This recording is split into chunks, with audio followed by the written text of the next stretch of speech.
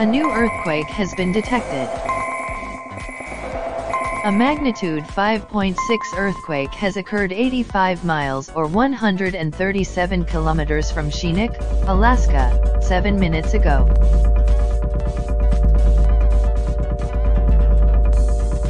This earthquake was located near latitude 55.40 north, longitude 156.90 west, and has a depth of 9.94 miles, or 16.00 kilometers.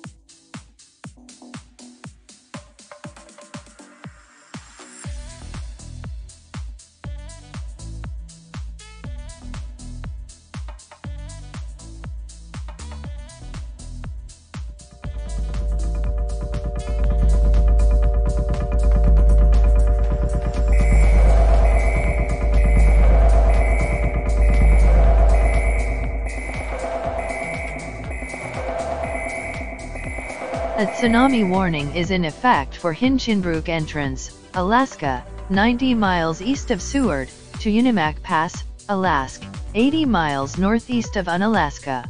A tsunami warning is in effect for the Aleutian Islands, Unimak Pass, Alaska, 80 miles northeast of Unalaska, to Samalga Pass, Alaska, 30 miles southwest of Nikolsky.